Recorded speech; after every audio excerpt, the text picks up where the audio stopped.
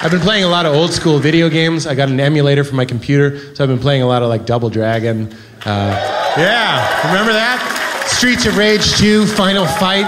Been playing all these games. And I've been playing them and also cracking myself up with the following fantasy that I think would be fun for us to imagine together.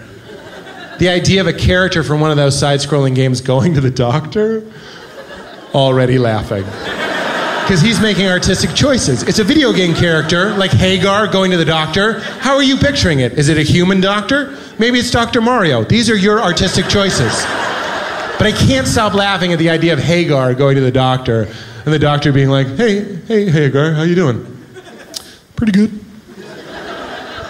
Uh, and what have you been up to, man? What, what's been going on? I've been fighting. Doing a lot of fighting.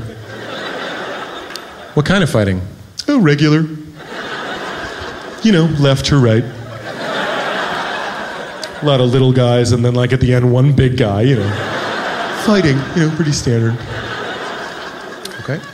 And uh, what's the problem? What brings you into the office here today? It's my stomach.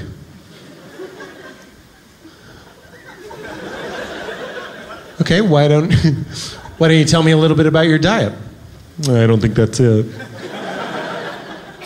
All right, well, humor me. Why don't you just tell me what you eat on a normal day? Okay, it's a waste of time, but uh, like an apple. Like I'll like I'll find an apple.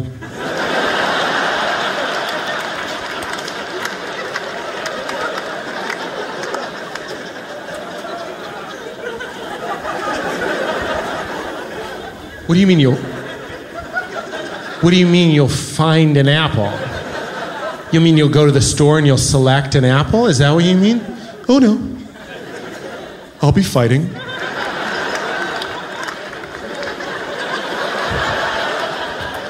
and then I'll hit a barrel. and that barrel will bounce a few times, flash, and disappear. You know, a barrel. And right there on the dirty ground, there'll be an apple, and uh, I'll go over and I'll eat that in one bite. That'll get me about a third of the way.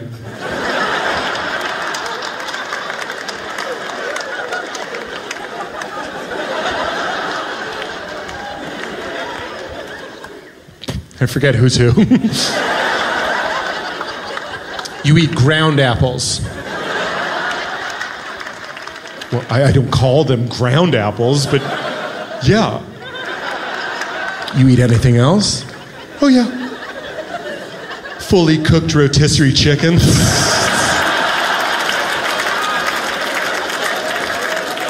It's the stupidest joke there's ever been. You just witnessed the stupidest joke that there's ever been, and it takes like six minutes. you were here for something. Something happened. End it. Oh, God.